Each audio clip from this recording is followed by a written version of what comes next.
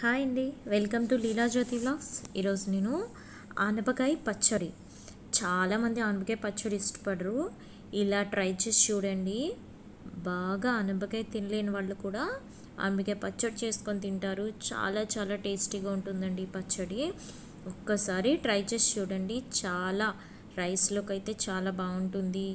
అలాగే ఇడ్లీ దోశ అన్నిట్లో కూడా వడాలో కూడా ఈ చట్నీ చాలా బాగుంటుంది. ఇప్పుడు మనం ప్రాసెస్లోకి వెళ్ళిపోదాం. మనకు కావాల్సిన ఇంగ్రీడియంట్స్ వచ్చేసి ఆనపకాయలు టమాటోస్ పచ్చిమిర్చి పది తీసుకున్నానండి.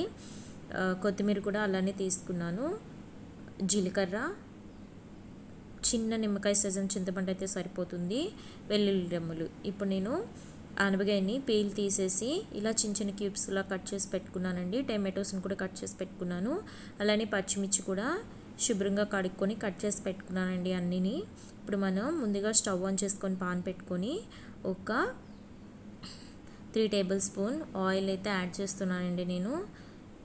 ఆయిల్ యాడ్ చేసిన వెంటనే ఆనపకాయ ముక్కల్ని ముందుగానే మనం ఫ్రై చేసుకోవాలి కాబట్టి ముందుగా మనం ఆనపకాయ ముక్కల్ని యాడ్ చేసుకుందాము. ఆనపకాయ ముక్కలు మినిమం ఒక ఫైవ్ మినిట్స్ అయితే పడుతుందండి బాగా మగ్గాలి కదా. ఆనపకాయ ముక్కలు బాగా వేయించుకుందామండి. మధ్య మధ్యలో ఒకసారి ఇలా మనం కలుపుకుంటూ ఉంటే సరిపోతుంది. ఎందుకంటే మాడకుండా మీడియం ఫ్లేమ్లో పెట్టినట్లయితే సరిపోతుందండి. తొందరగా వేగిపోతాయి. మధ్య మధ్యలో ఒకసారి ఇలా ఫ్రై చేసుకుంటూ ఉంటే సరిపోతే ఆమెకి కూడా బాగా వేగిపోతుంది. ఒక ఫైవ్ మినిట్స్ అయితే ఆనపగే వేగడానికి టైం పడుతుందండి.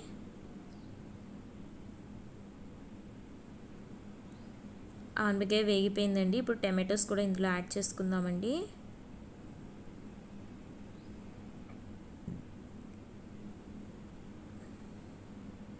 ఒకసారి టమాటోస్ మొత్తాన్ని మిక్స్ చేసుకోండి. అదేవిధంగా పచ్చిమిర్చి కూడా ఇందులో యాడ్ చేసుకోండి. టెన్ టు ట్వెల్వ్ పచ్చిమిరకాయలు అయితే సరిపోతాయి. నేను టెన్ అయితే యాడ్ చేసుకున్నాను. మీకు ఎక్కువ స్పైసీ కావాలంటే ఇంకొక రెండు ఎక్కువ యాడ్ చేసుకోండి. టెన్ అయితే మ్యాక్సిమం సరిపోతాయి పచ్చిమిర్చి.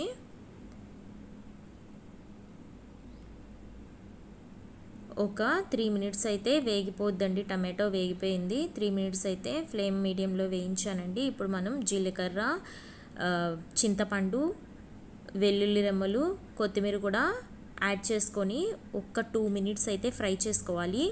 టమాటో త్రీ మినిట్స్ పడుతుందండి వేగడానికి. టమాటో పచ్చిమిర్చి అవి వేగిపోయిన వెంటనే మళ్ళీ మిగతా ఇంగ్రీడియంట్స్ కూడా యాడ్ చేసుకొని ఒక టూ మినిట్స్ అయితే ఫ్రై చేసుకోవాలి.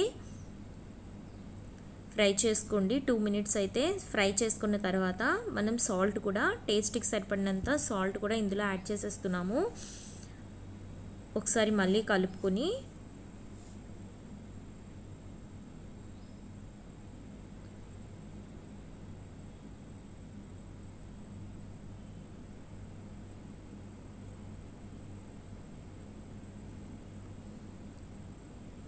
ఇప్పుడు మనం స్టవ్ ఆఫ్ చేసుకొని చల్లార్చ చల్లారాలి కదండి. మిక్సీ జార్లో వేసుకునే ముందు చల్లారి పెట్టుకున్నానండి. ఇప్పుడు నేను మిక్సీ జార్లోకి మొత్తం ఇంగ్రీడియంట్స్ అన్నీ అందులో వేసేసుకున్నాను. సాల్ట్ అన్నీ అందులోనే వేసేసుకున్నాను కాబట్టి పాన్లోనే.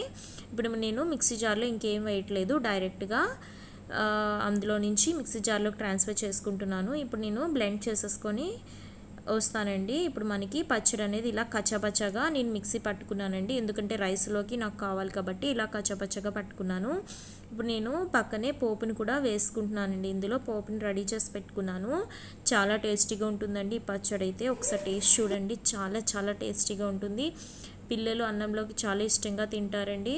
నా ఛానల్ మీకు నచ్చితే లైక్ చేసి షేర్ చేసి సబ్స్క్రైబ్ చేయండి. పక్కనున్న బెల్ ఐకాన్ కూడా క్లిక్ చేయండి. Thank you for watching.